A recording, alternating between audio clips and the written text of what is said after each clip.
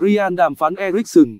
Theo giới truyền thông Anh, MU đang tiếp xúc với người đại diện Jorge Mendes để đàm phán về Fabio Coentrao. MU đang xem xét Coentrao là giải pháp chữa cháy. Sau khi chấn thương của Luxo trở nên nghiêm trọng, khiến anh phải ngồi ngoài khá lâu. Coentrao vừa hết hợp đồng với Rio Ave và hiện đang là cầu thủ tự do. Trước đây, huấn luyện viên Jose Mourinho từng có ý định đưa Coentrao về MU. Dù vậy kế hoạch không thành vì nhiều lý do. Đội hình hiện tại của MU còn có Damian, Rojo, Diogo Dalot có thể đá hậu vệ trái, ngay cả Ashley Young cũng là một lựa chọn. Tuy nhiên, những cầu thủ trên hoặc cũng đang có vấn đề về y tế hoặc phong độ không thực sự tốt. Vì thế huấn luyện viên Solskjaer phải cân nhắc chiêu mộ thêm Coentrao để có nhiều giải pháp cho cuộc đua đường dài.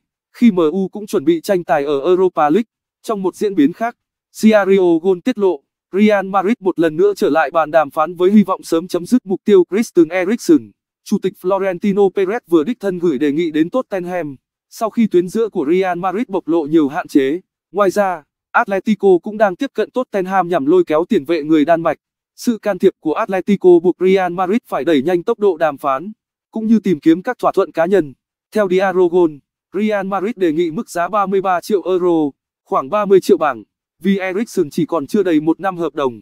Năm ngoái, Real Madrid từng lấy Thibaut Courtois theo cách tương tự với giá 35 triệu euro.